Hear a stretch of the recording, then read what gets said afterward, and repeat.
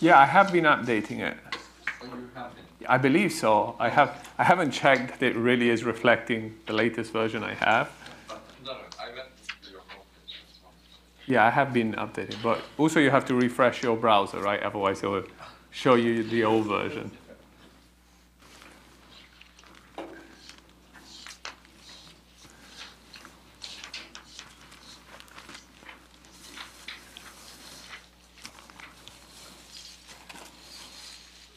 Okay, so um, let me try and remind ourselves, ourselves a little bit where we are.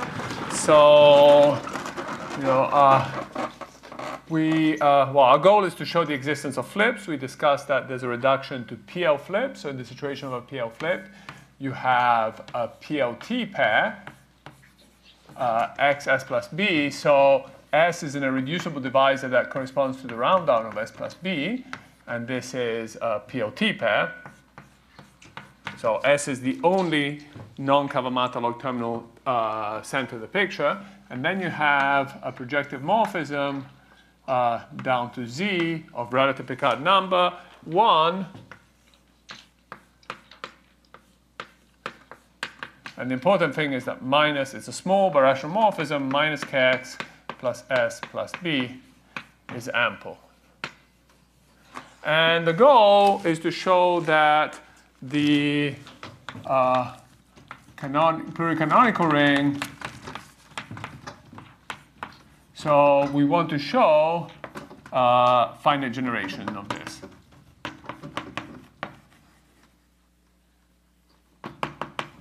And in order to show finite generation, we saw that it's enough to look at the image. So you look at the map of uh, the restriction map given by adjunction. And in order to show finite generation, it's actually enough to show that the image of this map is finitely generated. So you denote uh, the image of this is denoted by uh, sub s, the restricted algebra of ks x plus s plus b. This is the restricted algebra.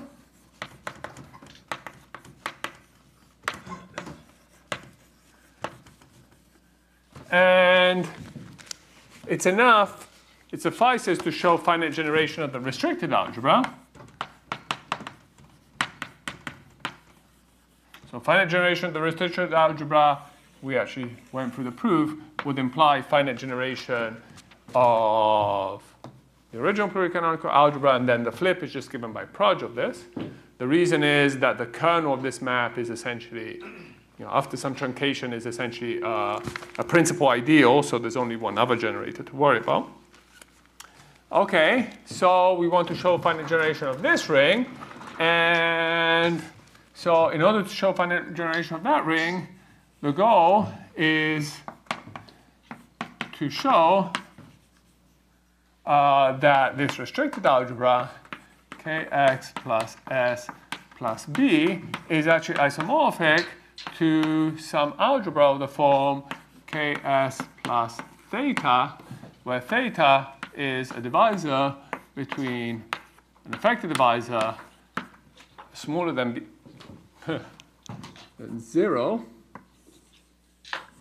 and then, of course, this will be a KLT pair. So by induction of the dimension, this ring is finitely generated.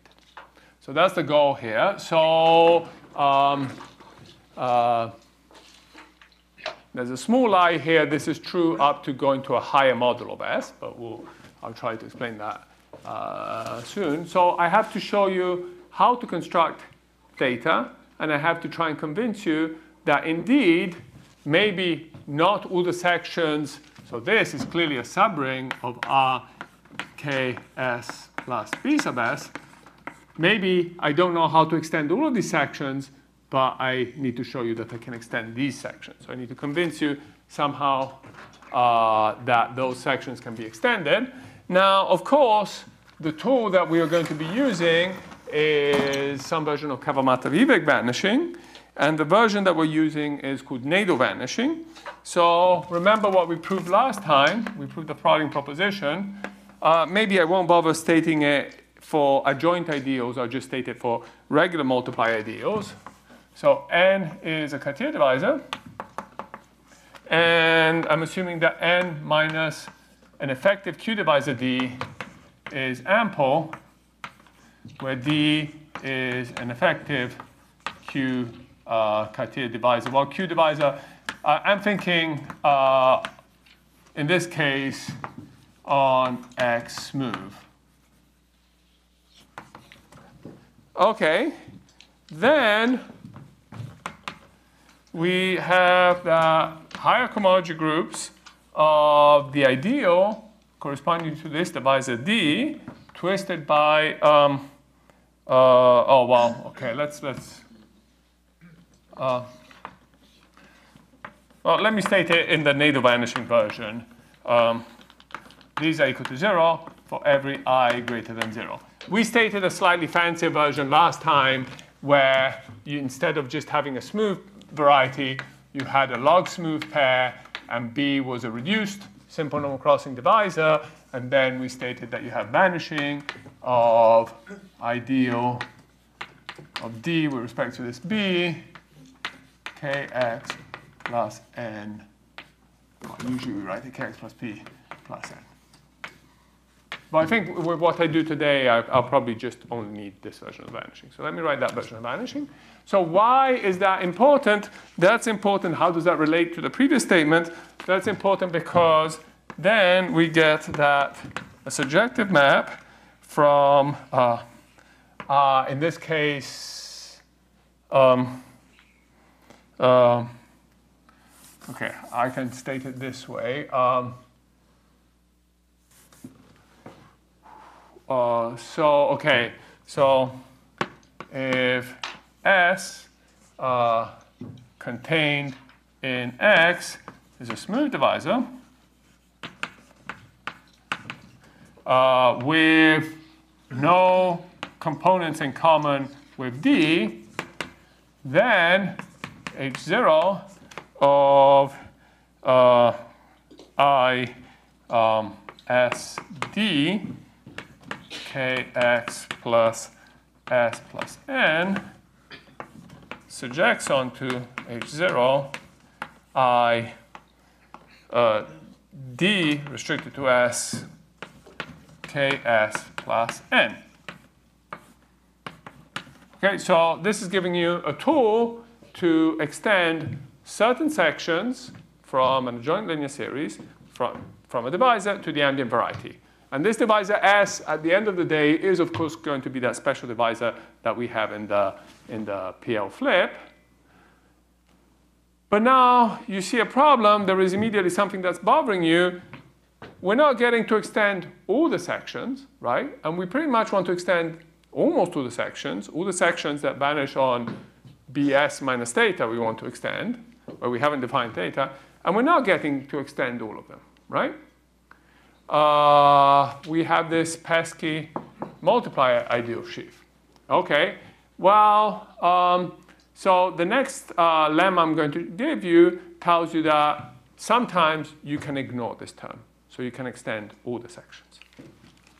Okay, so, so again, this seems to be a problem for our purposes, right? This ideal better correspond exactly to BS minus theta, otherwise we cannot extend the other sections. Okay, so here's the lemma.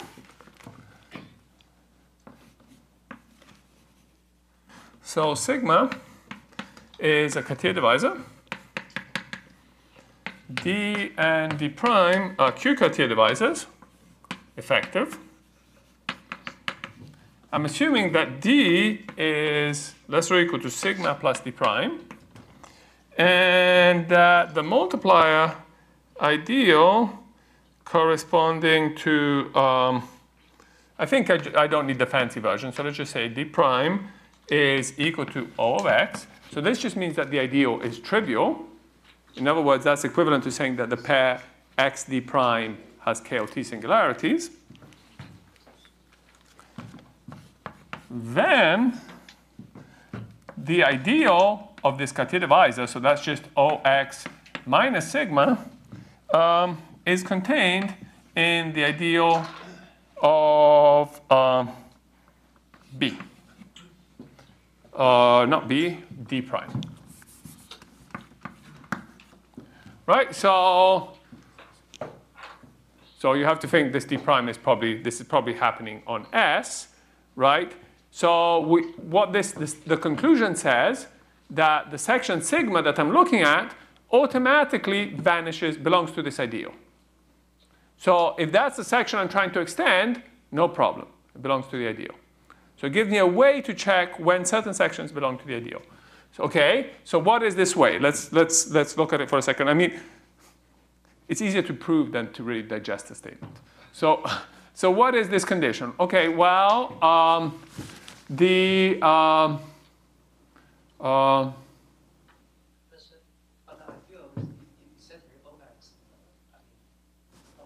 Okay, so that looks like a typo, so what do you think we should put here? You asked the right question. right, that, that probably has to be the right thing. Okay, so what are we saying? So let's say that d prime was 0, right? Then sigma is greater or equal to d, so the ideal of sigma will be contained in the ideal of d. And since sigma is Cartier, the ideal of sigma is Ox minus sigma. So in the case that d prime is 0, this is now a trivial statement to prove, so I probably wrote down the right statement. Now assume that, uh, you know, how big can I make uh, d prime? So in essentially making d prime bigger, I'm making d smaller respect to sigma and still keep this inclusion while um, I, I, I, can, I can increase it by at most by a KLT pair. Okay? So it's sort of a reasonable statement. And just think about the case d prime equals zero, and then it's an obvious statement. And the proof isn't much, much harder. So let's do the proof. First of all, what is the ideal of um, uh, d prime? Well, that's the trivial, right? That's, that's O of x. But what does that tell us? Well, how do I compute this ideal? Remember, this was the push forward of Ox prime, where x prime is a Röder solution, e minus the round down of the pullback of d prime.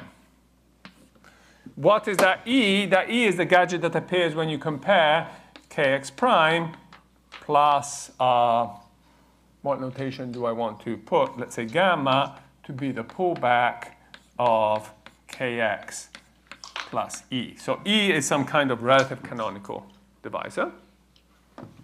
Um, okay, so this push forward being equal to OX, this is just saying that E minus the round down of the pullback of D prime is greater or equal to zero, right?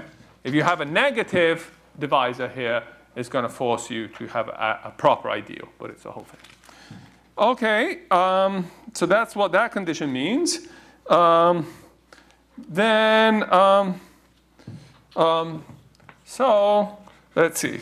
I look at the round down of the pullback of D, then I claim that this is less or equal to the pullback of sigma plus the round down of the pullback of D prime. This is another trivial thing. I take this inequality and I pull it back, and then I take the round downs. This is a Cartier divisor, so the round down of a Cartier divisor is just itself. So that, that's why this comes out of the round down. Okay, so now I'm just going to take this inequality and that inequality and put them together and then push it forward. So what do I get? So um, uh, this tells me that E minus the pullback of sigma minus the round down of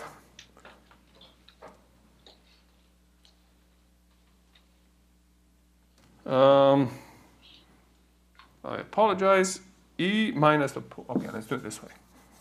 E minus the round down of the pullback of D. Um, yes, that's exactly what I want. Is greater or equal to E minus the pullback of sigma minus the round down of the pullback of D prime, um, which is greater or equal to minus the pullback of sigma. Okay, let's see if I did this right. So I start with this quantity. Why do I start with this quantity? Because the push forward is going to be the ideal of D. Okay? Now, the first inequality um, follows because from here. Pullback of D less or equal to pullback of sigma, pullback of D prime. I put a minus, so instead of less or equal, it's greater or equal to, okay, this, my handwriting is getting worse. Uh, greater equal to the pullback of sigma minus the pullback uh, of d prime. So that's, that's just from this inequality. And then from this inequality, E minus the pullback of d prime is greater or equal to zero, so I'm just left with minus the pullback of sigma. Okay, so now you take this and you push it forward, and this is what you get. The push forward of O of minus the pullback of sigma, Cartier divisor, so by the projection formula, it's just OX minus sigma. And the push forward of this gadget, by definition, is the multiplier ideal of D. So as probabilist, it's a completely trivial thing to prove.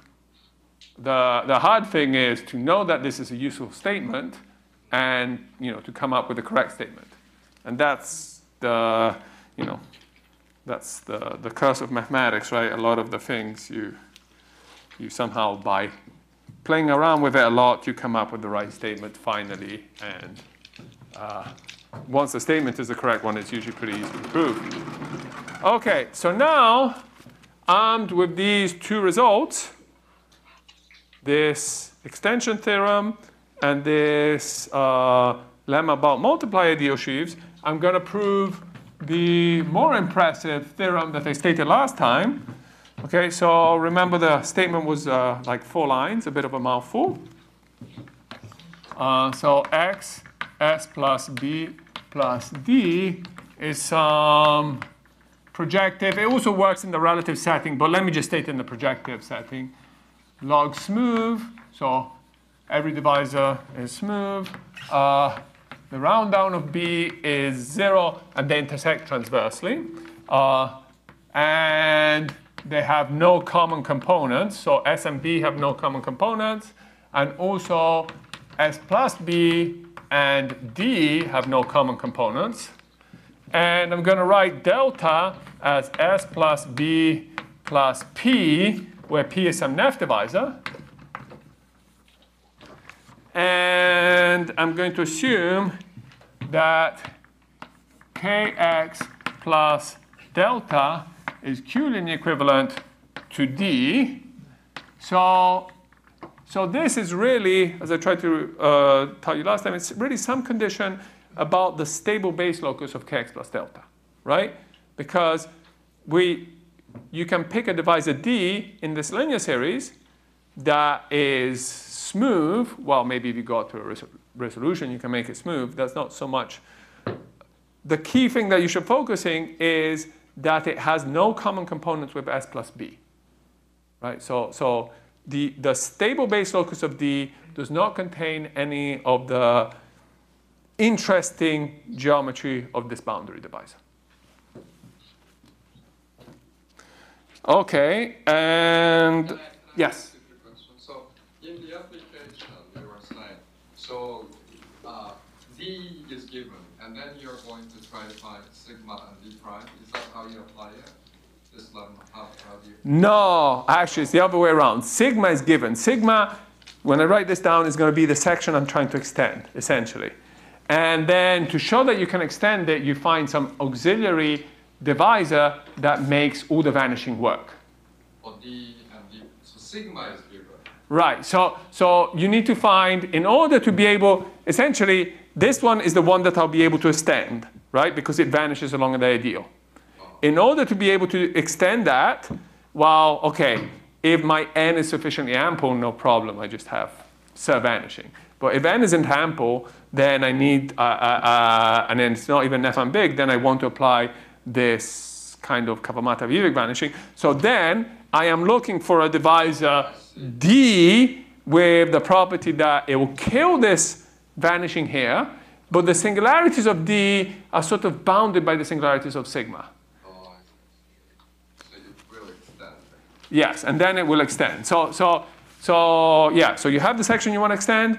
You want to find the divisor, which, uh, whose singularities on the rest- restriction are pretty close to, to the section that you're trying to extend. Okay, so, okay, I'm only halfway through writing the statement, right? so now let's assume that some integral multiple k of p and k of b, these are integral divisors. So k clears the denominator of those divisors, some, some fixed from now on in positive integer k. And let's assume that h is sufficiently ample. Then, okay, here we go.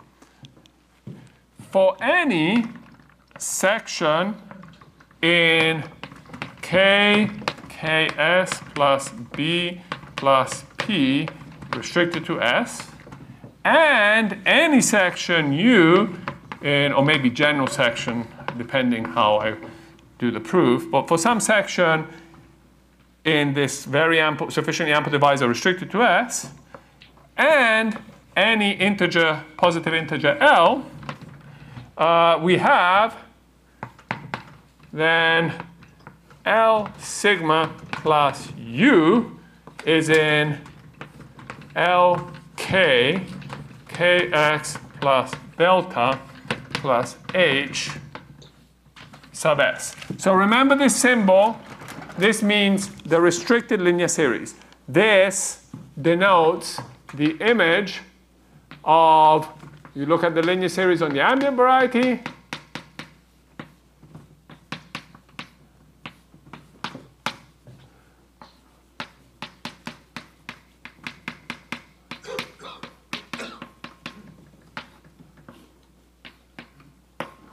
right? So, so what I'm saying is, I have this section sigma. I cannot tell you yet that it extends.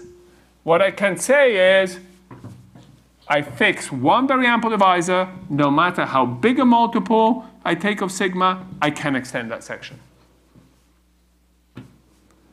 And then the next theorem should somehow uh, sort of divide this by L and take the limit, if that means anything. That doesn't actually mean anything stated that way, but morally speaking, that's what we'll be doing.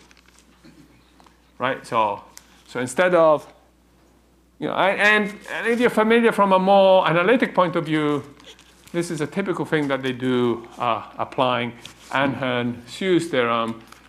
They extend this section, construct a metric on the ambient variety, and sort of take the limit of that metric. You know, take the m, limit of the m fruits of that metric to get uh, a better metric. Okay, so, okay, so in order to prove this theorem, all we need are those two propositions and uh, a decent amount of work. The reason why I need a lot of work is because there are a lot of uh, fractional divisors in this picture, but these proposition and the lemma, right? I mean, if you're trying to, if you're talking about sections that you want to extend, they have to be cut here. So when I write this linear series here, I want to make it up of LK smaller adjoint bits, and I can't just divide it, I can't just use kx plus delta plus h over lk, because that's a fractional divisor, it's not a Cartier divisor. So I'm going to have to sort of uh, take, divide and take remainders. Okay, so Lm uh, will be uh, the, the division of m by k. Okay, so you take a number m and you divide it by k. This is the, the quotient that you get, and then there's a remainder. Rm will just be m minus Lm k. So I just did division of uh, m by k. Okay, then I'm going to set, uh, I want to define Pm will be Kp if Rm is 0, and it will be 0 if Rm is non-zero.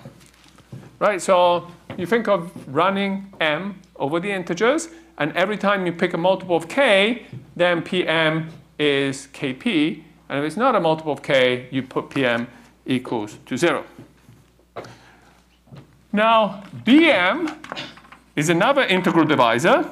So how can I make an integral divisor out of MB?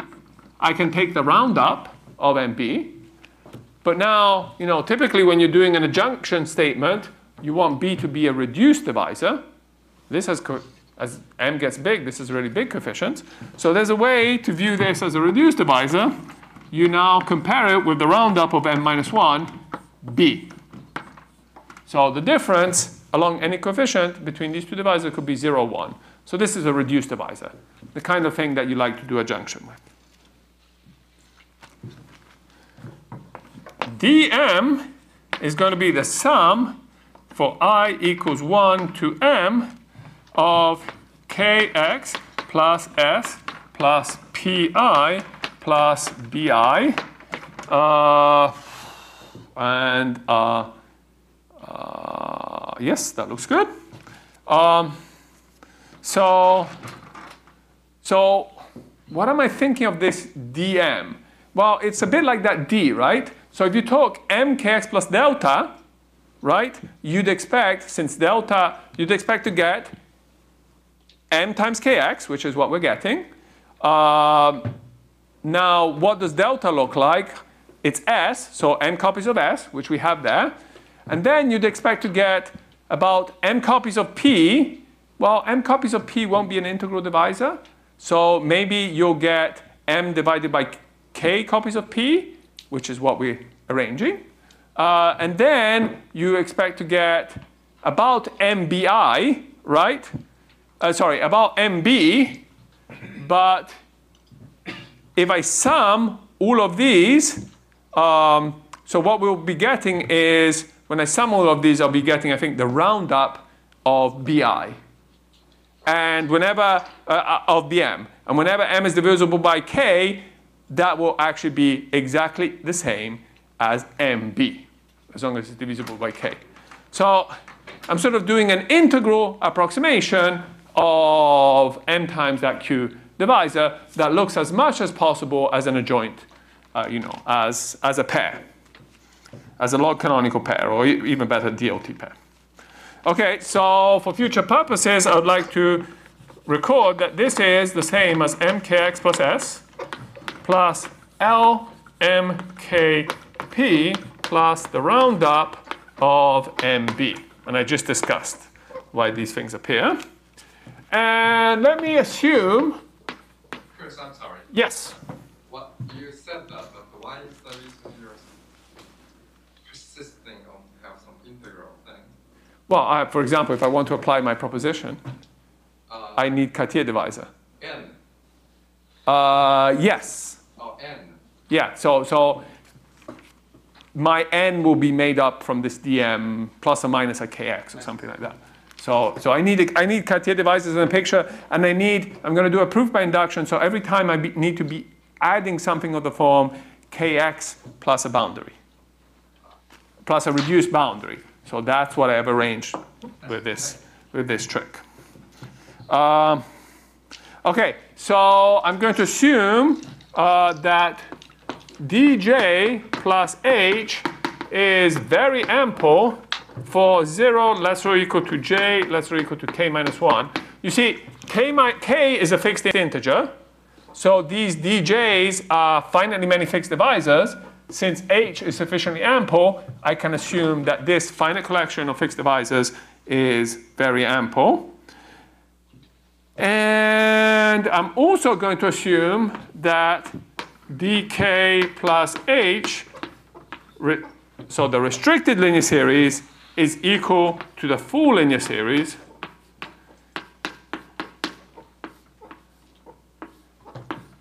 Um, okay, just this one. Again, this is a fixed divisor. If h is sufficiently ample, you can kill higher cohomologies and get that this, this uh, equality. And um, uh, this looks uh, awfully like the thing I'm trying to prove when L is equal to 1, right? So this is my, the basis of our induction. Basis of induction. Right, because if you put L equals 1, it's the kind of thing that you're trying to prove.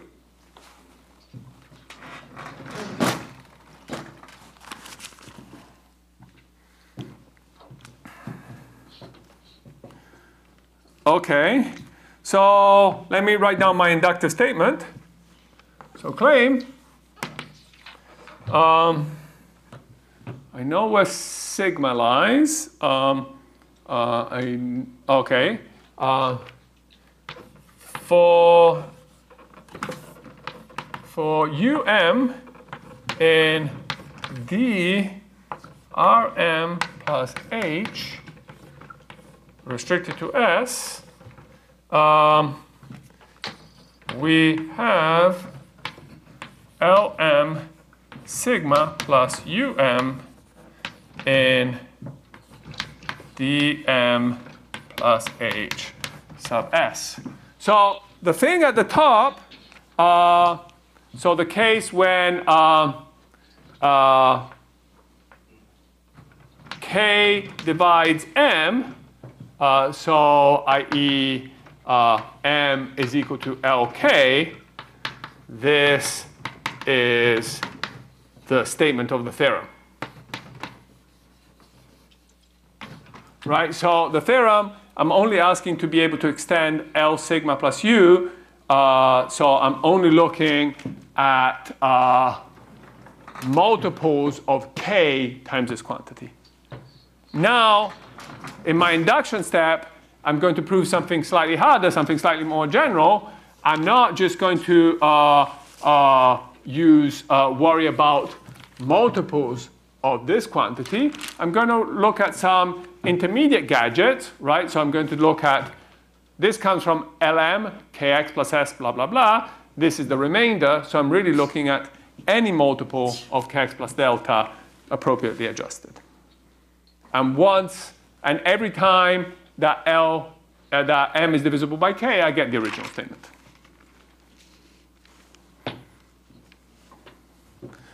Okay, so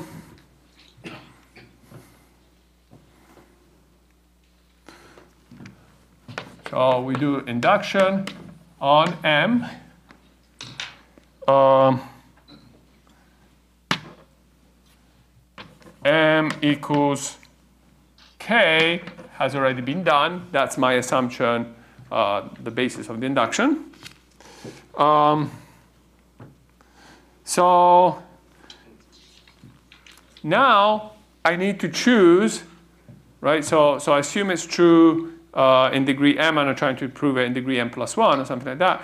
So what I'm going to do is I'm going to cook up, using my inductive hypothesis, I'm going to cook up an interesting other divisor that will allow me to apply the proposition and the lemma. Okay, so, so this is going to be a bit of a mess, unluckily. Um, so here we go. For, um, let's pick a small rational number, delta, between 0 and 1, very small rational number. Then I claim that d rm minus 1 plus h plus delta Bm is ample. Okay, this should be a triviality. You see, the remainder is between 0 and k minus 1, so I know that d Rm minus 1 plus h is very ample by my assumption, and so I perturb it by a delta. So this, how small this delta depends on m. Right? So given Bm, I can pick a delta. For any delta sufficiently small, this quantity is ample. So this depends on m. Now, Oh, wait, wait. uh, Why is this? I'm sorry. Well, this is ample. Right, it's very ample. In fact, dj plus h is very ample with j in that range, and this is a remainder, so it is in the range. Uh, so, uh, and this is just a perturbation of that, so it stays ample. Okay, so now um, I'm going to consider another uh, small number, epsilon, and I'm going to let f is going to be 1 minus epsilon delta bm plus lm minus 1 uh, times k uh, epsilon d. So then um, x s plus f is log smooth and the round down of f is 0 and s is not contained in the support of f. So let's check this. Okay, so what is f made of? f is made of b's and d's. Okay, but by assumption, uh, s plus b plus d has simple normal crossing. It's a log smooth pair. So uh, since bm only lives on components of b, then by definition, f also has simple normal crossing support, so this is clearly log smooth. Uh, you just think about it for a second, S is not contained in the support of F, it's clear. How about the round down being zero? Okay, so we discussed that BM has coefficients 0, 1. So now the coefficients are strictly less than 1, so the round down is 0.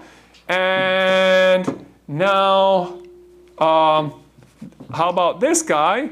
Well, L m minus 1 times k could be pretty big. It's close to m. But I'm multiplying by epsilon, again, depending on m, I can make this uh, be uh, arbitrary small, so the round down is 0. So this epsilon also depends on m. Okay. Um, so now, let's pick um, W in this very ample linear series, some general divisor.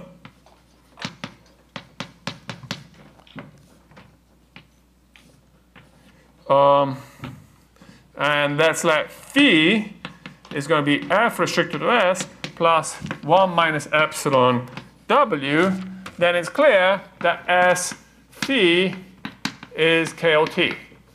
Why is that? Because uh, F gives me a KLT divisor simply because it has simple normal crossing and the round down is zero. And now I'm adding something with coefficient, a smooth divisor that intersects this guy transversely and also has coefficient less than one. So again, I get something that's KLT for trivial reasons, right? This linear series is very ample, so a general element in there is going to intersect everything. It's going to be smooth and intersect everything in the picture transversely, so this is clearly KLT. Okay. So I mean, I'm just writing some trivialities. The only thing that's not clear is how do they know how to ch choose all of these devices, right? And it's trial and error. You know, this, this is like a fifth generation statement, and every time you prove a, a statement like this, you get better, better at, uh, at finding the right devices. Okay, so I've done nothing, but I'm sort of halfway through the proof. So I guess you should say uh, this is a good time. You don't have to do anything, and it's going to uh, work out for free. Okay, I have to use my inductive hypothesis at some point, so let's do it now. By induction, there exists uh, a divisor G in dm minus 1 plus h. Uh, right, so, so I'm trying to extend this device in dm plus h. By induction, I know that I can do it at the previous level such that the restriction to S, uh, hopefully I can find the place in the note so I don't have to ad lib. Um, G restricted to S uh, is L m minus 1 copies of sigma plus W. Let's see if that smells right. Uh, so in my right? So my inductive hypothesis is just this with m equal, replacing m by m minus 1. So L m minus 1 sigma is the right thing. UM is what? It's a section in DRM plus H. And here we have it in DRM minus 1 plus H. So it, that is indeed the inductive hypothesis. Um,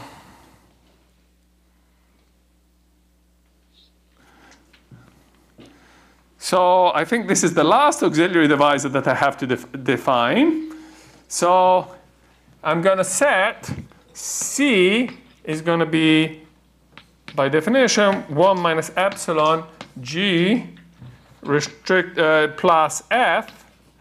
So this is less or equal to Lm minus 1 uh, sigma plus phi, which is less or equal to Lm sigma plus um plus phi. Okay, so let me let me check this. It's just it's a triviality from what we've already shown, but you just have to chase them down. So phi is f plus 1 minus epsilon w, right? So this f is getting uh, eaten up by the phi. Uh, there's something slightly wrong because I shouldn't be restrict. Uh,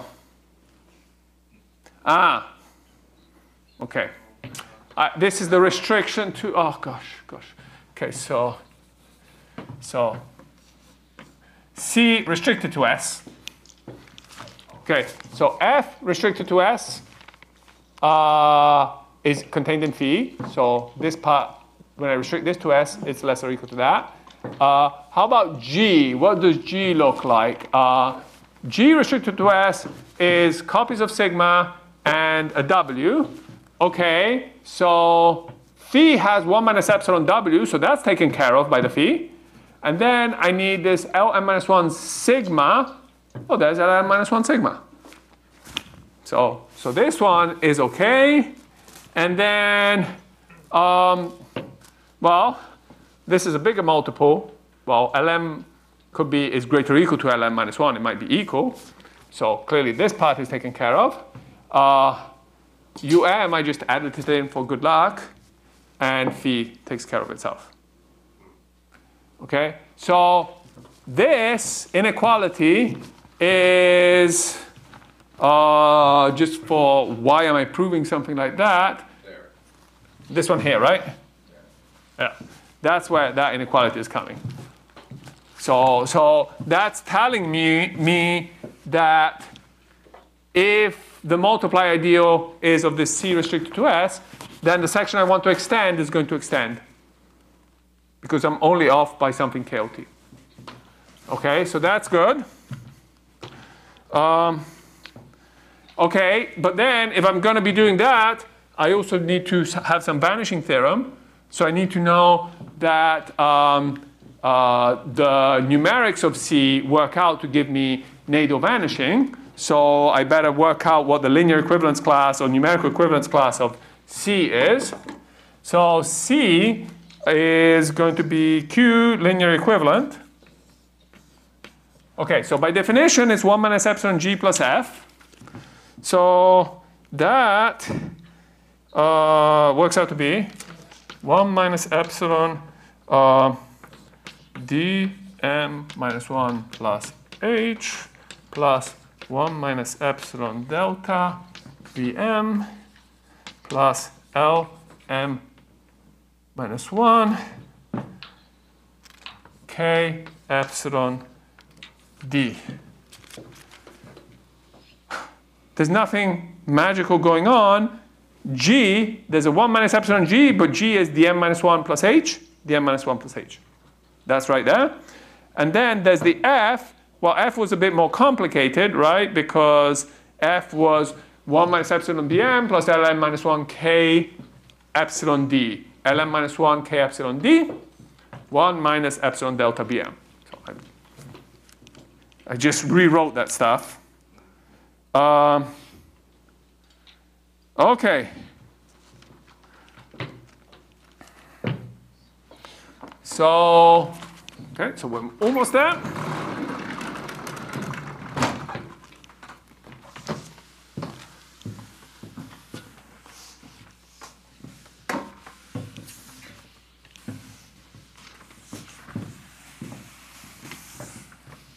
So if I want to apply the, the proposition, uh, I need some n minus d to be ample. Okay? So I'm going to preemptively compute some ample divisor and then show you that it's n minus d. So my ample divisor will be epsilon d rm minus 1 plus h plus delta bm plus pm. So this is ample. Is D or D? Sorry? Is that D or D? Is that d? Or D here? Yes. It's the same one. Same D. Yes. The, it's it's the, the remainder one. Right? There, there are lots of d. There's one for every m. No, no, no. oh, so you said you were going to apply. Oh, which, so you're going to apply the proposition. Ah, which one is the D? Probably Yeah, C. Something very that looks like C. I haven't. The next line I'm going to show you. Ah. I, I'm going to reveal. I, this is all the preparation. All my uh, soldiers are ready to go to battle. But uh, let's just check this. This is again a triviality because uh, P is Nef. So I just have to check that this is ample. This guy here is very ample because this is in the range between 0 and k minus 1, and h is sufficiently ample. Delta is sufficiently small, so this thing is still ample. And epsilon times ample is ample. So this is a triviality check. Okay, so now we are ready. We just need to check the hypothesis of those two uh, things that were done. So uh, I'm going to uh, look at dm plus h. So what's the m plus h? Presumably that's the sections I want to extend, right? I'm trying to extend the section from dm plus h restricted to s. So, um, so this is of the form kx plus s. Um,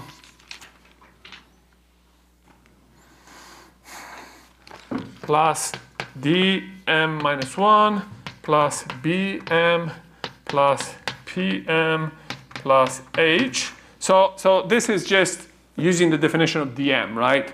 Uh, you, the difference between dm and dm minus 1 is um, uh, going to be one copy of kx plus s, and you figure out the uh, other, uh, other terms. Uh, so this is exactly what you get. And I may have written it explicitly somewhere, but I don't see it explicitly. But it's easy to check that this is, this is what, you did right okay, great. Yeah. Everything is plus. Yes. Yes. Uh, oh, it's hard to see that this is a plus, huh?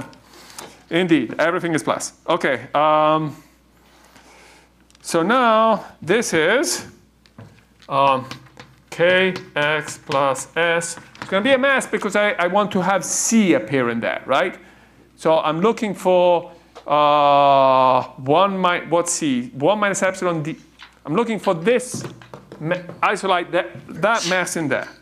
So, uh, so I should have a 1 minus epsilon dm minus 1 plus l m minus 1 k epsilon k x plus delta plus epsilon dr m minus 1 plus dm plus pm plus h. So let's think about it. bm plus pm plus h is right here. Uh, kx plus s. Um, okay, kx plus s is right there. And dm minus 1. Uh, ah, right. So here's 1 minus epsilon of them. So I have epsilon dm minus 1 left to, left to account for. Everything in here, you can factor out an epsilon. So what I need to know is that dm minus 1 is ln minus 1k kx plus delta plus dr sub m minus 1. Uh, Yes. yes, you, you found it somewhere there and I can't find it. By the definition. By the definition of of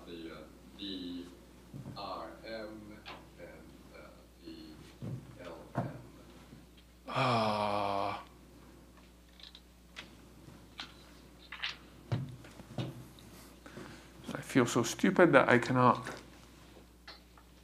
uh, help me out, Kenji. You said it's by the definition, yes. th by this line here? No, no, no, no. By, you define this, uh, uh, D, R, what is this?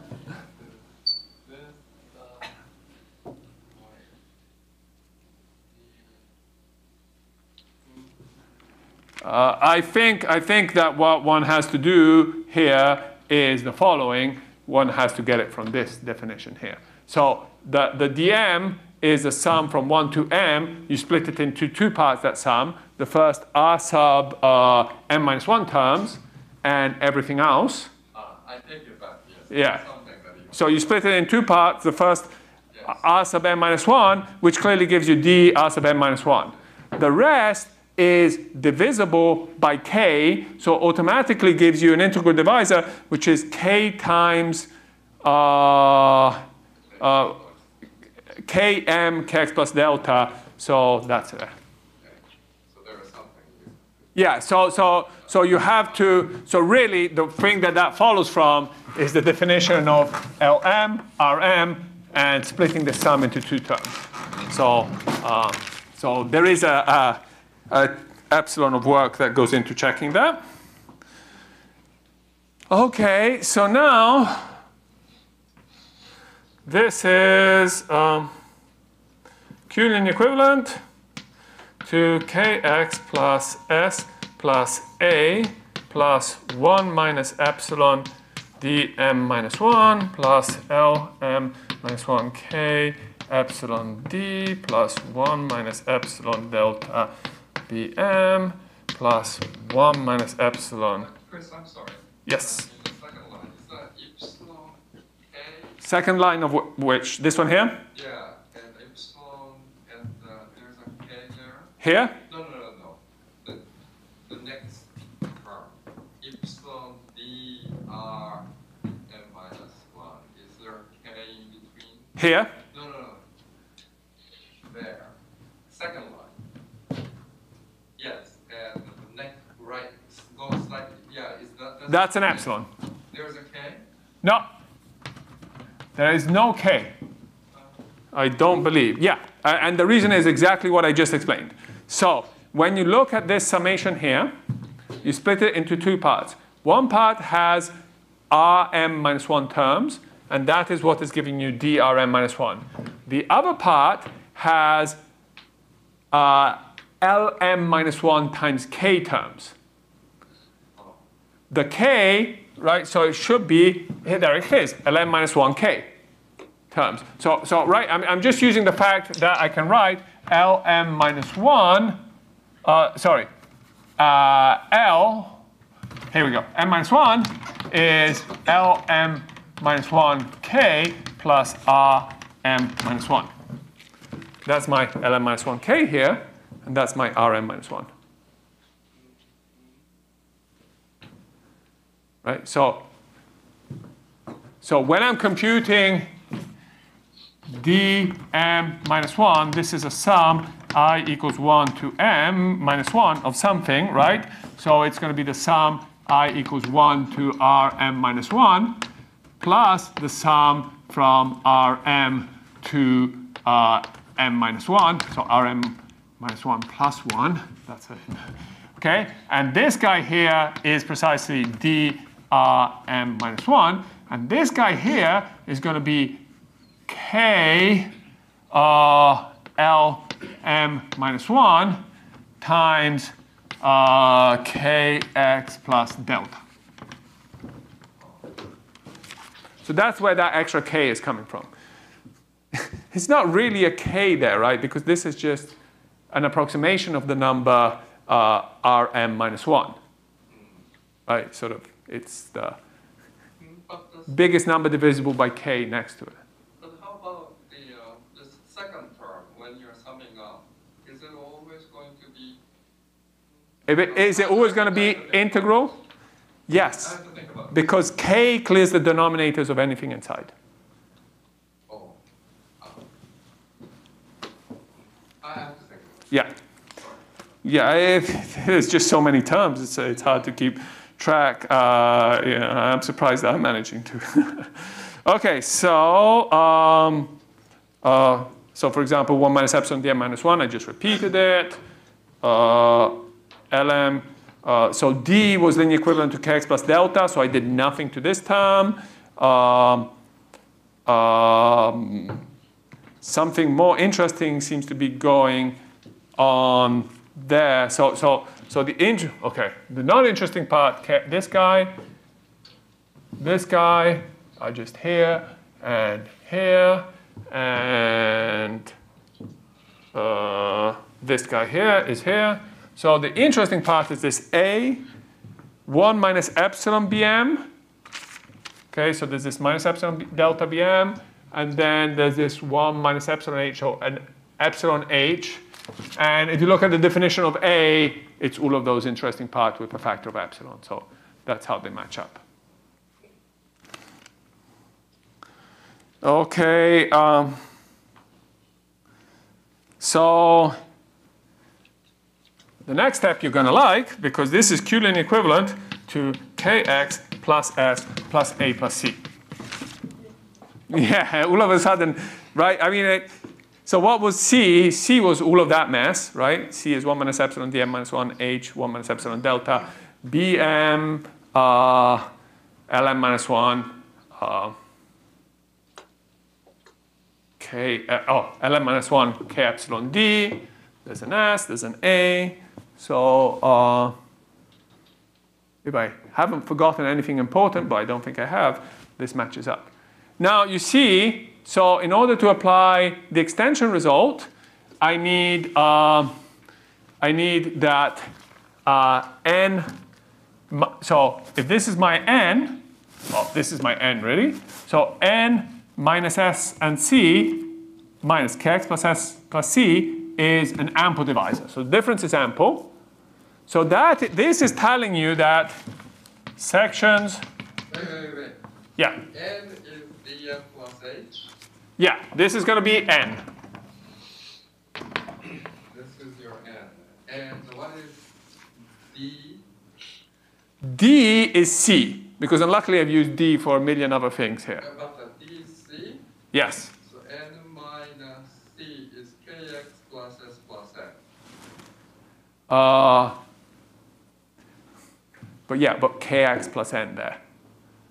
So that's that difference of kx. And there's actually a small typo in that formula that we discussed last time. No, no, no. You, you said n minus d must be ample, but I don't. Okay, so this is n plus kx. Oh, I see. And now, I see. and now I'm expecting you to say, oh, but you're off by s. Yeah. Yeah, actually I have a typo in the previous one, right? Oh. Because, uh, ah, no, no, no, I, I, I, I, I did it right, I did it right. So in the next line, I have a plus s appearing. So I actually did, I don't have a typo there. You're right. Okay, so this, that proposition tells us that sections of H0 um, uh, dm plus h tensor the ideal of C restricted to S extend. Okay, so now all I have to do is uh, I asked the question is uh, what was I trying to extend? It was some multiple of sigma plus some u probably. Uh, Lm sigma plus um. So the question I, uh, that I I'm really hoping the answer is yes. Otherwise it's all wasted. Is this guy here in here? Well, I've already checked that it's in there because I have uh, Lm sigma plus um plus a KLT thing is greater or equal to C restricted to S, and that's precisely the lemma. So, so that's true, and that concludes uh, this proof. Oh, wait, wait. Proof of the claim. Right, so then by induction, that claim is true. Uh-huh. And whenever this claim is stronger than the theorem, because the theorem coincides with this claim whenever uh, m is divisible by k. So that, that concludes the proof.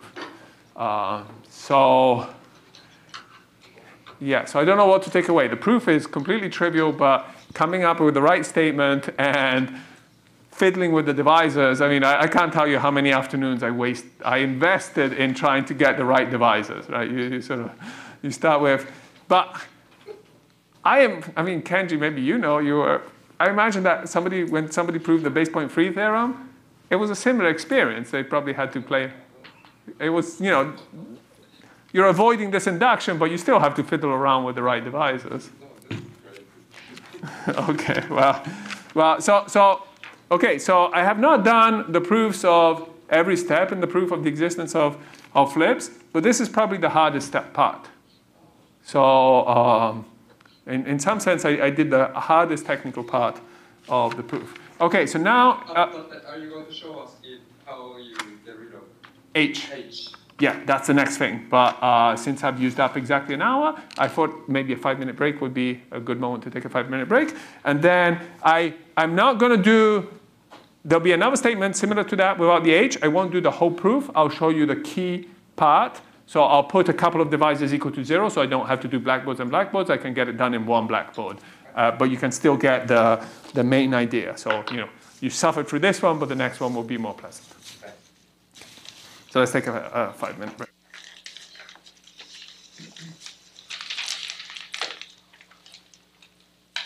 To do is try and write a version of that that gets rid of the H. Well, maybe I'll need a little extra hypothesis to get rid of the H. So let me do that. But now the statement is getting very close to what you need for the existence of PL. Uh, so, so now I'm not going to talk about a smooth pair. I'm going to move to a PLT pair. Uh, well, maybe not. Maybe let's keep it log smooth. So by saying PLT, it just means that S is irreducible, no common components with D, the round down of B is zero, and it's log smooth. Um, a is some ample divisor. Delta is S plus A plus B. Is that what it was before? Well, okay. Uh, there's an A.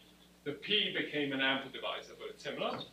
Uh, C, no relation to the previous C, is something effective such that SC is canonical.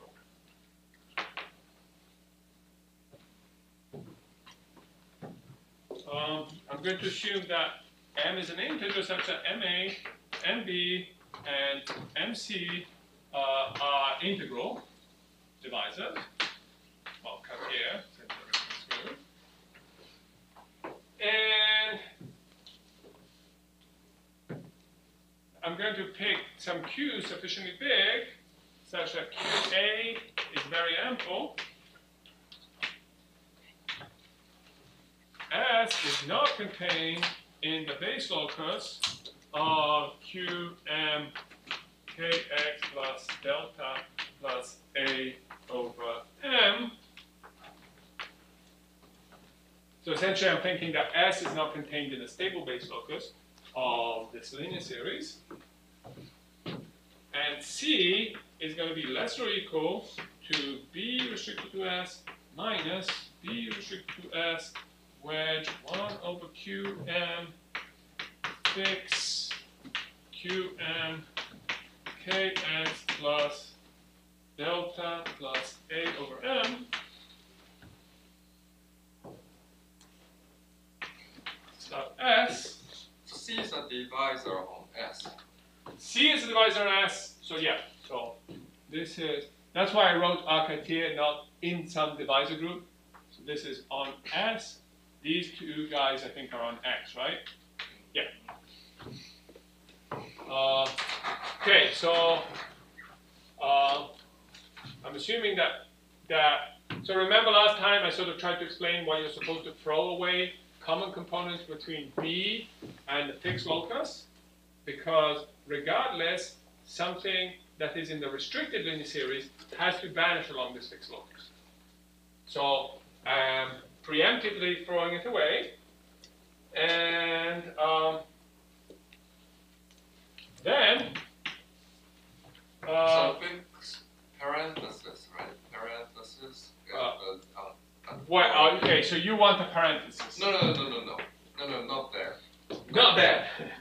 Where do you want the parentheses? Uh, fix, fix of the q and plus delta a over. Ah, because you're afraid that otherwise the symbol could mean take the fix and then restrict the yeah, yeah, rest. yeah. But it's the same thing. This is the restricted linear series. So I take divisors on the ambient variety, restrict them to s. Oh, it's not exactly the same thing, you're Yeah. right? Because uh, it could have, okay, so this linear series, its base locus could be a codimension one point on s, which is codimension two on the ambient variety, Yeah. so it would not be measured by that. Okay, so you, well, there's no harm in putting an extra. I don't know too many. Two. okay, I have a tough customer. Sorry. I could have sort of, if I, if I said a, a sort of a stable base locus with multiplicity, I could have avoided that action. And there's one more question. Sure. Uh, when you write fix, this is the uh, divisors in the fixed locus. Is that what Counted with multiplicity. Counted with multiplicity? Yes. That's your notation. Yes, yes, Ah, yes. okay, okay. Right, because otherwise, here I'm taking the divisor in common between this and that. that's Otherwise, I would just be throwing away the whole component. No, I just want to, essentially, I want to look at B, I want to say, well, if something in B is contained in the stable base locus, it shouldn't really be that. So let's subtract off. So when you write FIX, you only care about the divisor part of Yes, the fix. yes. Okay. Okay. That's all we care about. Yeah. And it's a bit surprising that you can get away with that. Mm. Um, but somehow the canonical condition is helping you. Like canonical is saying that there's no higher interesting centers, you know, higher dimension interesting. Okay, then, okay, here we go. M, K, S, plus A, restricted to S, plus C, plus M, B, restricted S, minus C, is contained in M, Kx plus delta uh, sub x. Okay, so so okay, so what I'm saying is I cannot just extend the whole linear series, but I can extend those sections which vanish along this guy. Right? So essentially, I guess this should be my theta, the thing that I'm thinking of as theta.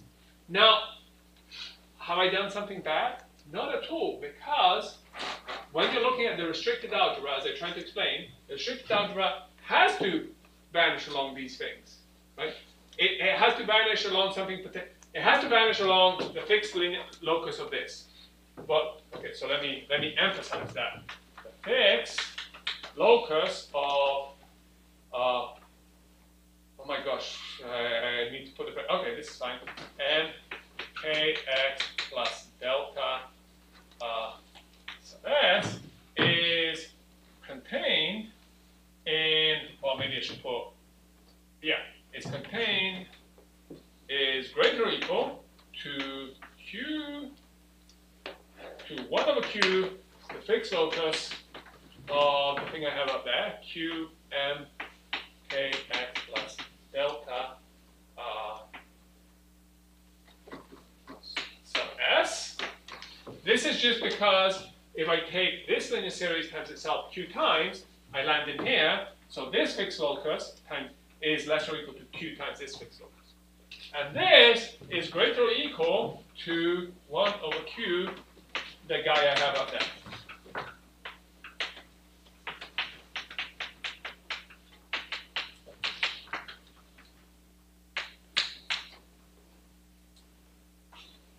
Right? Because if I add a little bit of an ample divisor, the fixed, I have more sections, and so the fixed locus will be even smaller.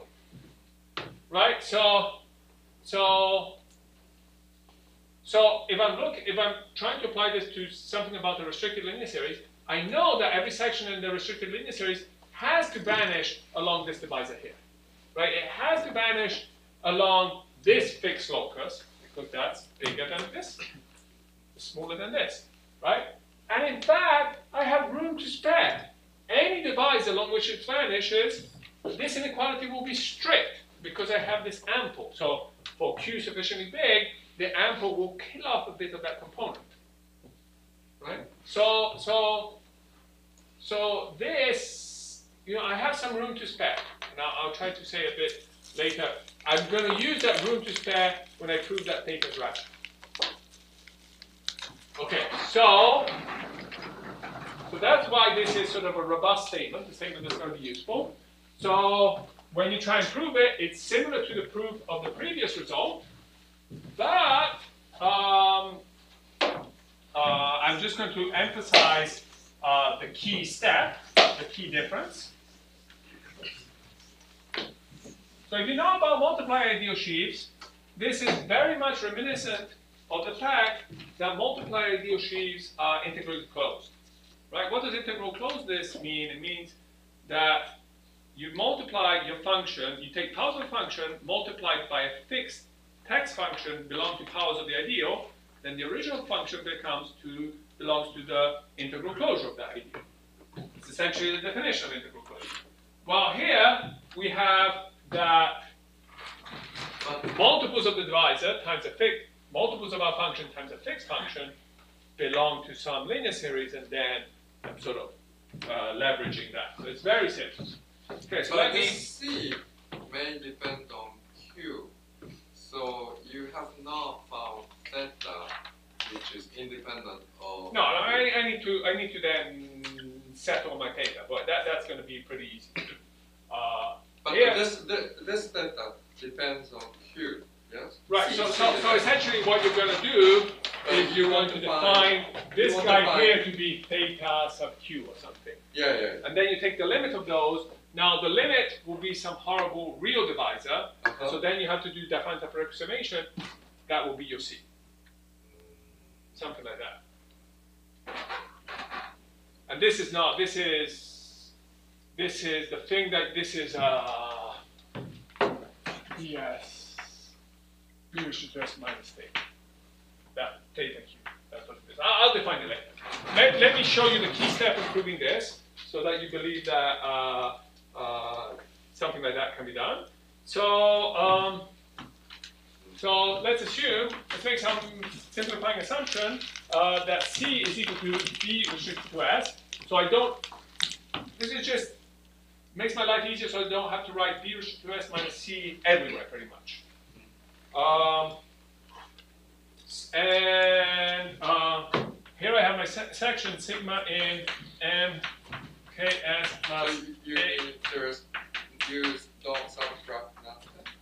Right, so assume that you're lucky and the fixed locus has nothing in, in common with B restricted to I S. see.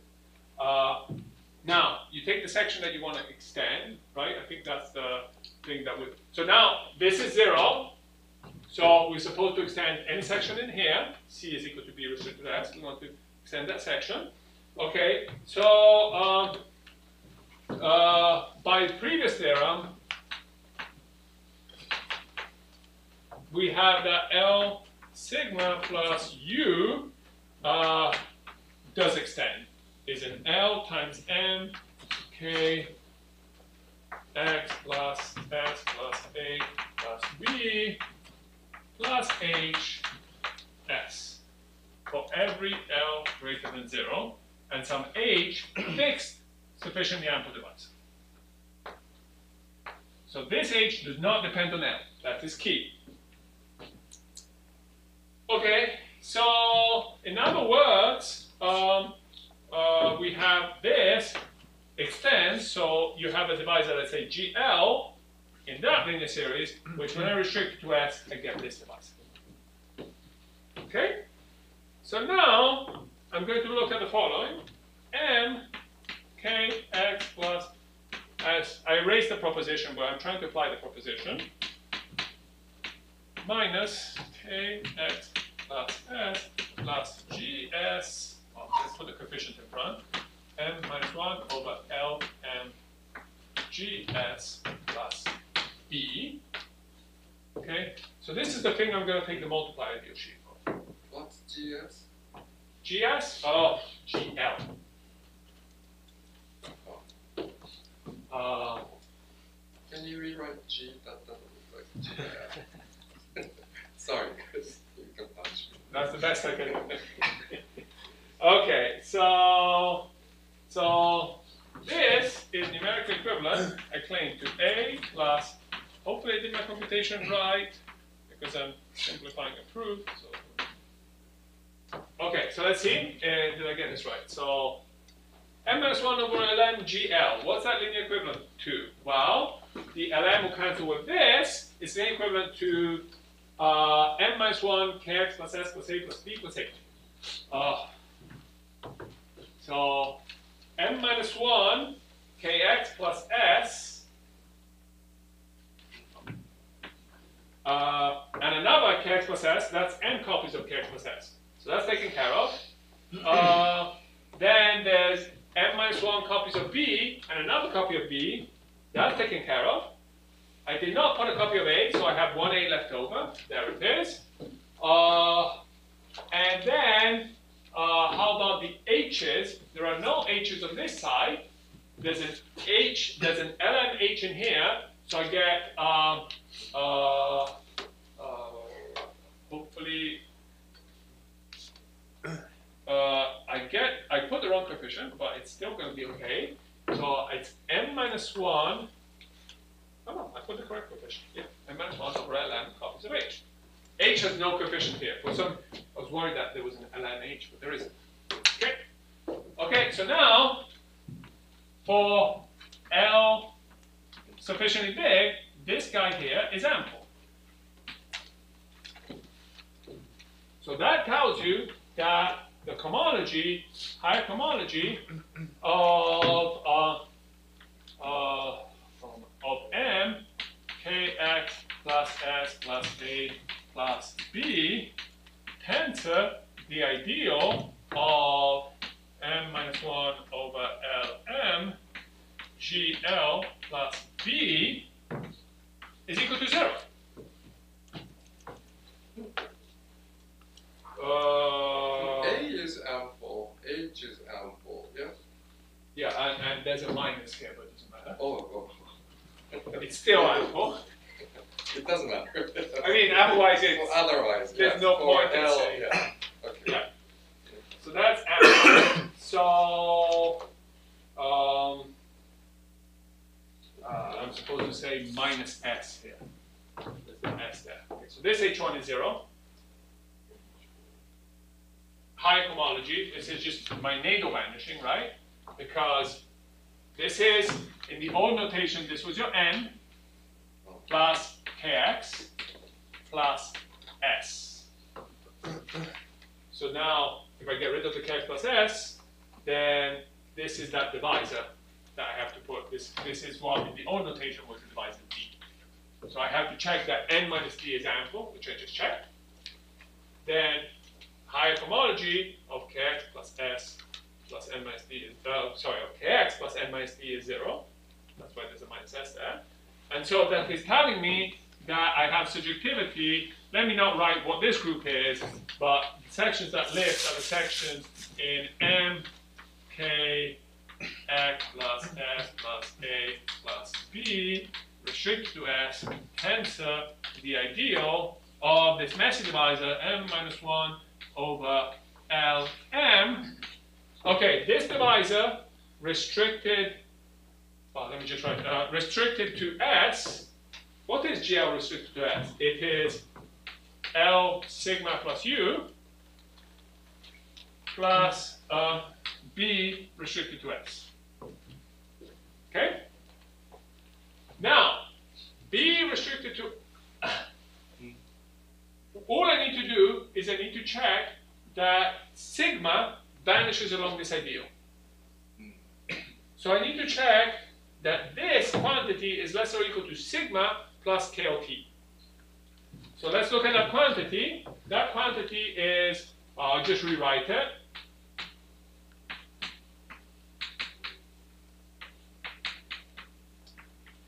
It's less or equal to, okay, L, L, M, M minus 1, that's less or equal to sigma, plus uh, B restricted to S,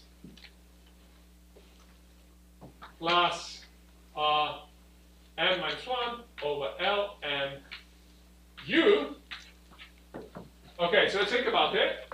I want this to be KLT. B restricted to S is KLT. For L sufficiently big, this, this is a fixed U, so for L sufficiently big, this is a sufficiently small perturbation of a KLT divisor, so it's still KLT. That's plus, yes? Yes, that's definitely plus.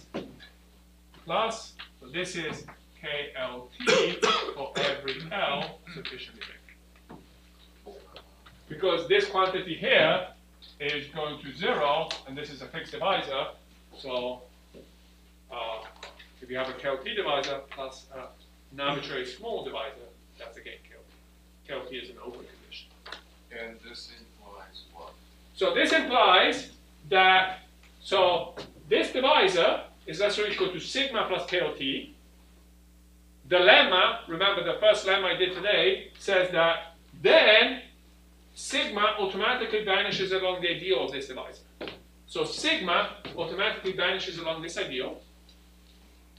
So sigma is in this group, so sigma extends. That's what I wanted to prove. Right, so, so the punchline in these extension theorems is always two things. One, some H1 vanishes, so you have surjectivity.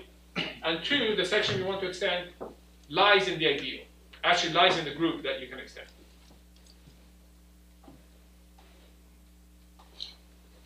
This, you know, algebraically is pretty easy to do now that you've seen it once. It's, it's just, just this computation here. When you do it analytically, it's much more complicated, but you can get stronger results. So if we did not have a little bit of ampleness, uh, we wouldn't be able to do this.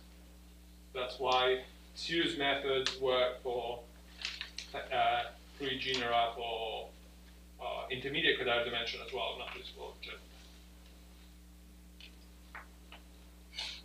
Okay.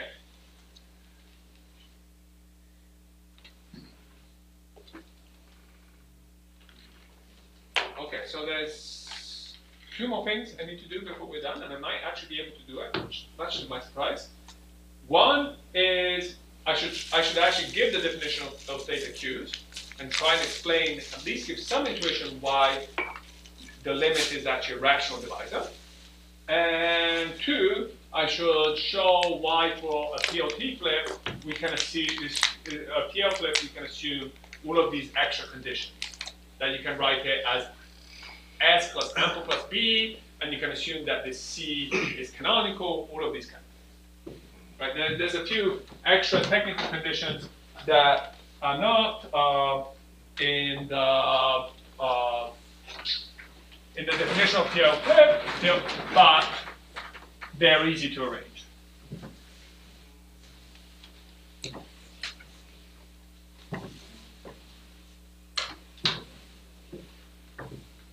Okay, so this next statement has, if I can find it, has the definition. Yes, here we go. So now x is q factorial. I'll stop pretending that x is projective, but I have a projective morphism to the affine variety. I'm gonna still have an ample divisor. Sorry, Yes. Uh, where did we use the uh, SC canonical condition in your proof? On Uh, blackboard. So I know.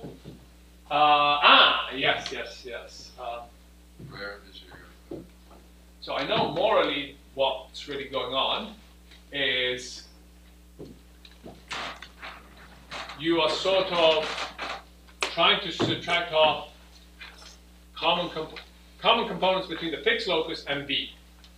If you want this to be robust from a rational point of view, you would like this condition to be verified on higher models. If it's canonical, there are no components of this that live on, on higher models. Now- didn't, we, we see it because you pretended see. Yes. Uh, Okay. I think that's what's going Okay,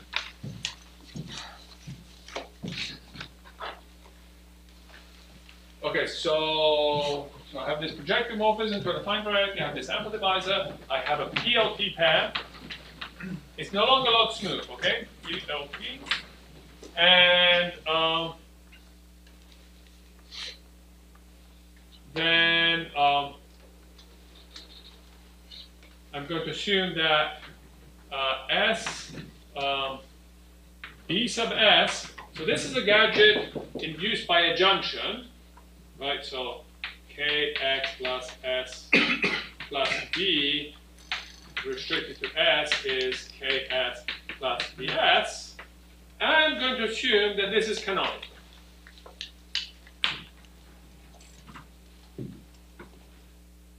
Um, and I'm going to assume that the stable base locus of Kx plus S plus B plus A does not contain S.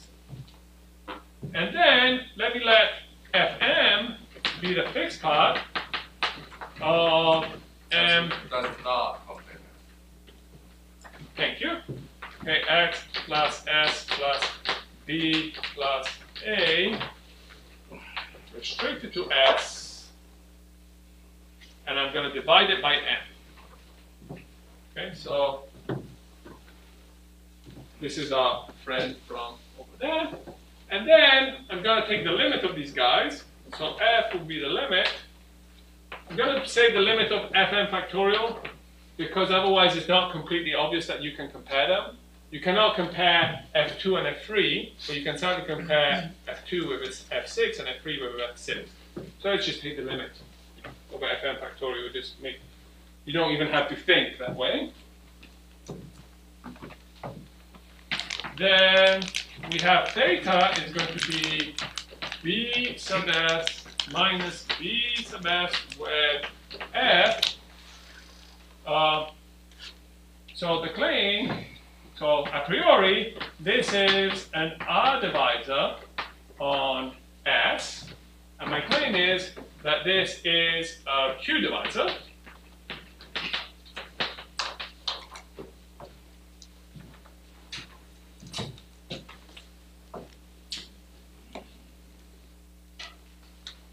Uh, is a Q divisor, and if k is an integer such that k, kx plus s plus b plus a, and k, ks plus theta plus a are Cartier, then rs k kx plus s plus b plus a is equal to r k ks plus uh, theta plus a. Um, everything is looking good, right?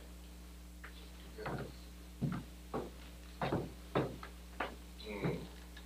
Okay, so this is almost exactly what I want for a PLT flip. Uh, the only difference is, why is this a- extra A here? Yeah. It will be easy to put there. We'll do it in a second. And why is it canonical? Maybe I'll do the reduction. That I'll, I'll tell you why this implies the theorem directly. But it's almost exactly what you were expecting, right?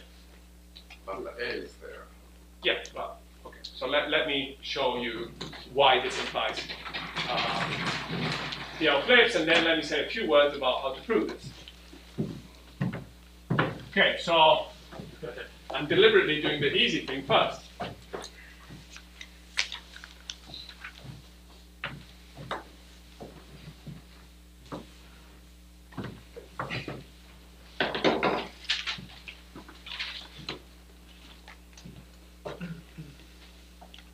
So what does a PL flip look like?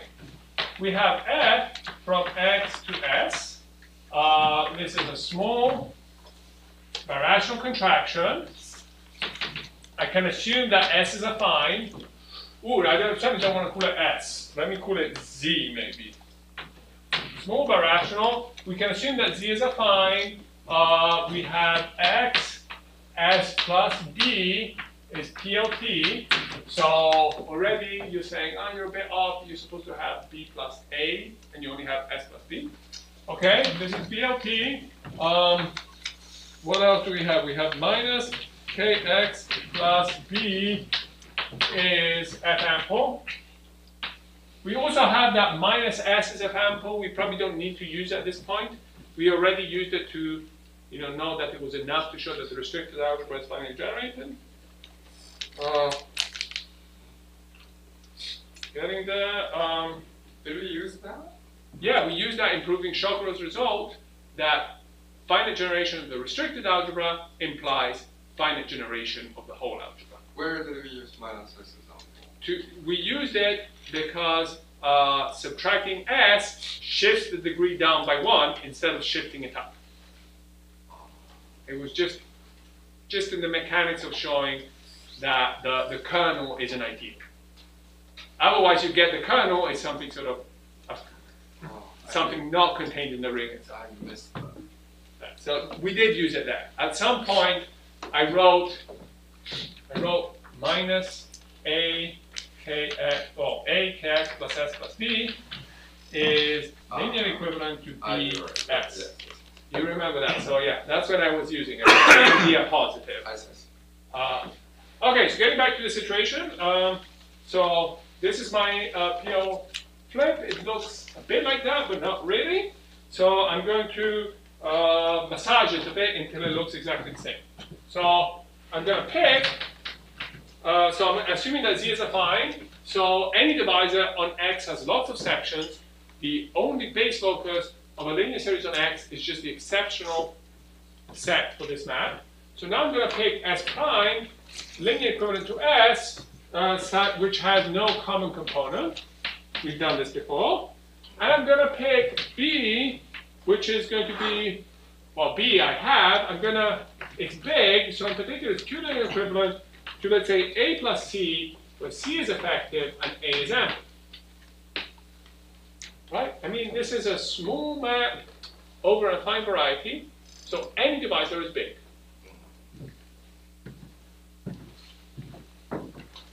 So now I'm going to let A prime be epsilon times the sample divisor, and B prime is going to be 1 minus epsilon B plus epsilon C. And then, uh, obviously, Kx plus S plus B is Q linear equivalent to Kx uh, plus S plus A prime plus B prime, where A prime is ample, B prime is effective. Now you may say, oh, wait, wait, wait a second, wait a second. When you chose this C, it could happen that C has multiplicity along S, right? So in that case, you would destroy the PLT property, right? Because the key thing in the PLT property is that the multiplicity of B along S is zero, right? So, what do you do if C has multiplicity along Wait, X? say again? PLT is just, that there is no, uh, S is the only, Only thing of coefficient one. yes. If you add, if, if C vanishes along S, then right now inside my B I have a little bit of S, so now the coefficient of S will be bigger than 1. So, so I really need, to do this trick, I really need to know that C has no, no component in common with S. Oh, I, I need to guarantee that. oh. But that's super easy because I just told you that S is linear equivalent to something else, which is not S. So suppose that C was alpha S plus a divisor gamma, then it will be Q linear equivalent to alpha S prime plus gamma. Oh, now it has no component of S in it. So, um, uh, so that was easy. So by, by this trick, you can also assume that x is not in the ds of the k. I can also assume that what? uh, the x is not contained in the bx of the kx plus x plus b plus a. Ah, yes, yes, yes, yes. So by trick. But I want S to be contained I mean, I want it here, right? Ah, it's not contained in the B, yes, yes. Um, so But that now, was, that was part of it. that's part of the assumption, yes. Um, yeah, so more to the point is when I do these perturbations, I never run into that problem. Uh, so, okay, so now uh, I'm still slightly unhappy because, Why? Well, it's not canonical, Ah, right? But I can blow it up and make it canonical. I can take a terminalization of S, essentially. So here's, here's the picture that you have in mind. If this is your S, and on S you have two components of B that uh, maybe have coefficients like two-thirds and two-thirds, then this is not canonical, because if you blow up this point, it will appear with multiplicity one-third. So blow it up. And then blow it up, uh, well, that, in that case, it'll be, you know, blow it up as many times as you need to make it canonical. but, So, but yes. the, then you are changing the situation. S was sitting in X. What do you mean by blowing it up? write it down. Ah. Okay, so now, wait. Hey. What do you think is that? He's gonna write it down. Write it down. Oh, sorry about that. yeah, so I, I, I'm preparing, I'm telling you what I'm gonna do, and now I'll do it. Okay. Sorry. So, so I write ky plus uh, gamma is the pullback of kx plus s plus b prime plus a prime plus e, whereas usual e and gamma have nothing in common and they're two effective divisors. And now this guy here is PLT, right? Because whenever you uh, take a log resolution on a PLT thing, you still have a PLT thing. Uh, and we can assume, so, so let's let T be the strict transform of S. We can assume that when I do, uh, when I consider T, and gamma minus T restricted to T is canonical, is terminal. I want to assume that it's terminal.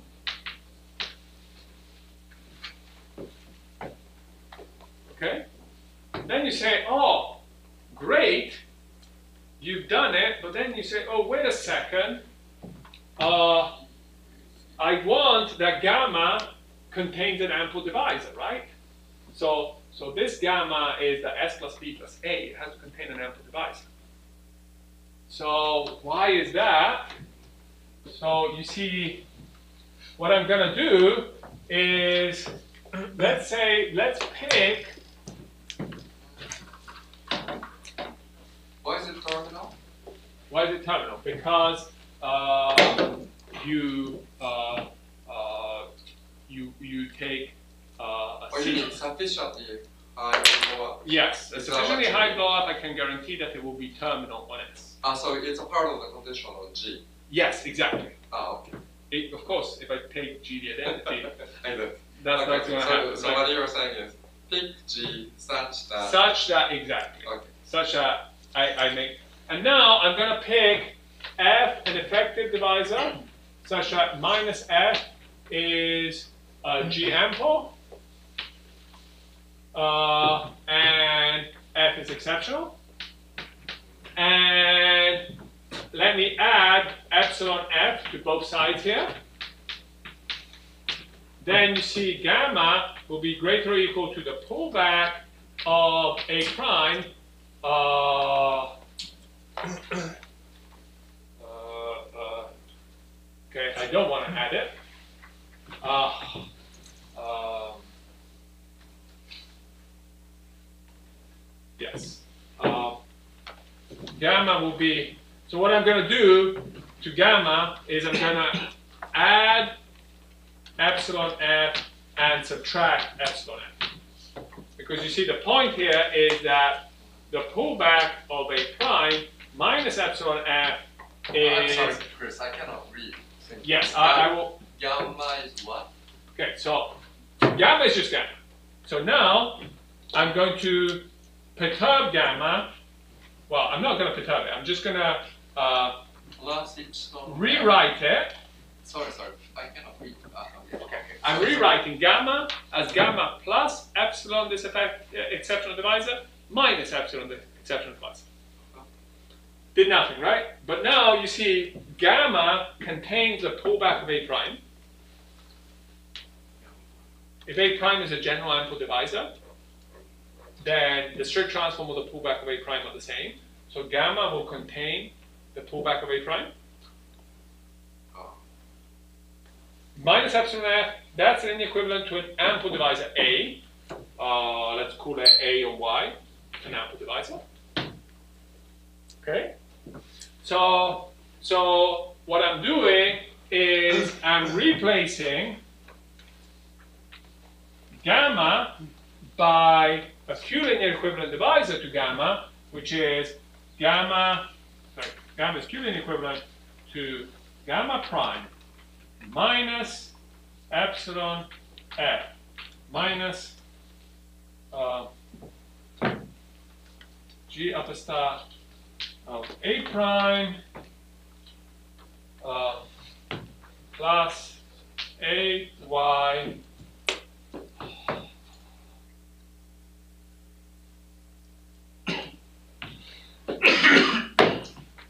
gamma prime is I take gamma, I subtract epsilon f add epsilon. Okay, here we go. Okay, so I'm going to replace gamma by the following divisor, which is Q linear equivalent to gamma anyhow, which is what? I add epsilon f, I throw away the strict transform of A prime, and I put in this AY, which is M. So replacing gamma prime by an appropriate Q linear equivalent divisor, I can assume that it contains an ample divisor. and this epsilon f doesn't harm me because if that was terminal, this plus epsilon f restricted to t is also terminal because terminal is an open condition. So this is sort of a standard manipulation which shows me that starting from the uh, PLT situation, uh, I can reduce myself to this more special situation. In fact, I can even assume that x is smooth, right? That's a log resolution. So I can assume that x is smooth and uh, uh, that makes my life easier, I guess. And the divisor uh, in question, uh, I guess, has simple normal crossing. I can assume that too. So, so all I'm trying to say is that there's some standard reduction from the PLT flip case to this situation. now, And now, in the last five minutes, try to reduce, uh, try to uh, tell you why this theorem should imply that theorem. yes. So there's two parts. One part is to show that theta is rational, and the second part is to show that uh, all the sections extend. Yeah. Okay, let's assume first that theta is rational, right? So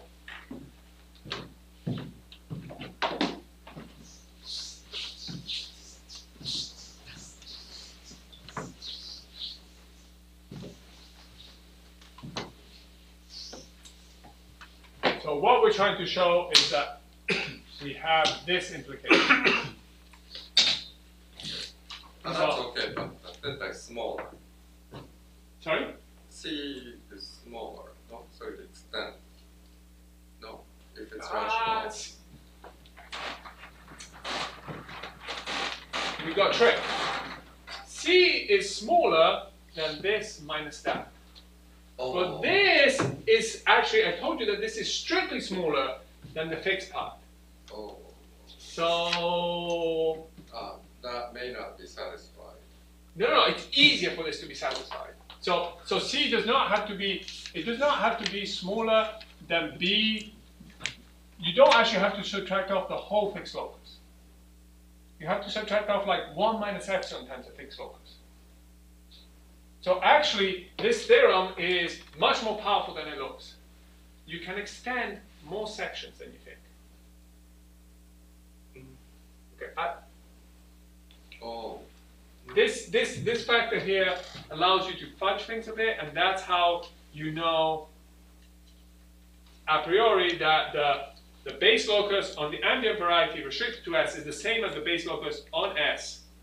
But, Right. but this middle one is smaller than theta, no? If- No, that's what I'm trying. This thing here is not smaller than theta. Why Okay, not? okay. So, so that that's kind of the crux of the argument. So let, let me let me let me go in the order I was trying to go. So let me start by saying, if we know that theta is rational, Yeah, then uh, we can extend the sections, right? yeah. So so um, But my problem is the middle one might be smaller than theta. okay, so it's not. It's not. Okay, so let's let's to get some feeling. Suppose theta is rational. Yes. Uh, so let's suppose that k theta uh, is an honest, we can clear the denominator, is an honest divisor on it. Okay, uh, so I was looking to see if I explain this in my notes. Uh, okay. Then A plus theta, hopefully this helps, minus b restricted to s minus b restricted to s minus 1 over q m f. This is essentially what you're asking about, so is m. Okay, so let's think about what I just wrote. Uh, uh, example for every q sufficient. Okay, So, so how, um, so how do I get, um, so how do I get theta? Um, I get theta by, um, yes, by this recipe, right? I do, I, I think I wrote it down somewhere. Yeah, I, I, I, do bs, and I subtract off bs minus f, where f is the limit of these fixed parts, these fm. So this fm cubed is the same as that fm, it's the fixed part of kx plus s plus b plus a. And, um, and, um, okay, so the limit of divisors like this is theta. So for any ample, so eventually this difference is small. So any ample, and it's supported on finitely many, on the support of B, so it's every coefficient is small and it's only finitely many divisors. So eventually this guy becomes ample. I'm not saying anything. Okay, so so then um, that should be enough to say that the sections have to extend. Um, uh, so, so what I write down, and then I hopefully can justify it, m kx plus s plus, uh, I guess, uh, uh, maybe I want to say k, x plus s plus b plus a uh, should be the same as m ks plus theta plus a plus m b s. So you, you're actually trying to show for sufficiently large Q, the coefficient of the right hand side becomes the same as theta, the last term. Is that what you're trying to show? Well, okay, so so now I've assumed that it's rational. So what I'm trying to show is that this theorem is going to apply to give me that these sections, the sections of this form extend. Right? That's what I'm, I'm, I'm supposed to do. So is the, is it showing that the theta, A plus theta is actually uh, the coefficient of theta of some component in theta and B restricted to S minus B restricted to S wedge one over QM, FQM, they have the same coefficient if Q is sufficiently Yeah, large? yeah. Is that what you're, Yes. So okay, so let's let's think if this follows from that. Hopefully, I didn't I didn't uh, mess it up. So what am I supposed to check? Uh, what I need is that um, um, C, I need to subtract off, is it more or less than something? So, so, yes, so here, um, this says that I can extend all the sections as long as I subtracted off at least this much. So what I have to check is that I subtracted off possibly more than this. Okay? But that's what I just erased here because what I subtracted off was the uh, stuff in common with the base locus of this linear series. This is my delta. Right? Whereas here, I'm only asking that you subtract off stuff in common with this linear series where I've got an extra ample divisor in the picture. So this guy here is a milder condition. I'm asking you to subtract off less stuff. So, so this is fine. That, that satisfies that problem. So now, rationality is a bit more involved. You have to use this little flexibility. So what is that? What the rationality is telling you is that in fact we had a bit of room to spare in the argument that we just did. So suppose that theta uh, is a real divisor. then what you look at is some other divisor C, which is a Q divisor, which is sufficiently close to theta so that it still satisfies the inequalities that you need to extend sections. Then you know that you can extend sections. So you know that the stable base locus of this linear series is exactly the same as the stable base locus of the corresponding linear series here. But that, this one is rational. Because you have a rational divisor and you're in dimension one less, so you can apply finite generation of the pluricanonical ring. So the thing that you're afraid is irrational and gives you an irrational theta divisor, the stable base locus of this linear series, you can now compute to be rational. So to Oh, wait, wait, so I, I don't understand the last part. So what's that? Okay, so I take C, which is close to theta. then- right, Yeah, Okay, so so so we know. So instead of this statement, you'll have it with m k s plus psi plus a. Uh, so if I look at this base locus, this is um, well, okay. So are you taking C from low, uh, from smaller or upper? okay, you're asking too many questions because no, no, no, I, I, no, no, no. The, the point is, if you want to get it right, you have to ask the question: Is it from upper or from lower? Off the top of my head, I'll get confused if it's from upper or from lower, right? And in order to get it right, you have to use the Diophantine approximation, because to, in order to check that everything, you know, the right, the difference is still ample, etc., you need difference between these two divisors to be small with respect to the coefficients. So that's done with respect to that Diophantine approximation.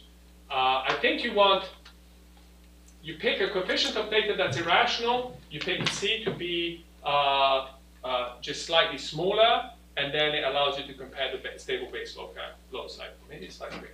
So, but the punchline is that if you look at the limit of fix of this divided by m, uh, this is a Q divisor.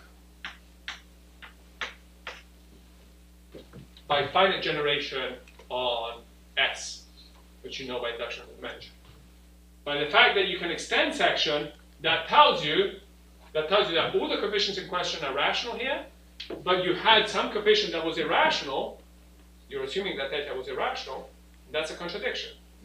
because you, you're just saying that some component with an irrational coefficient which becomes rational when you restrict it to s.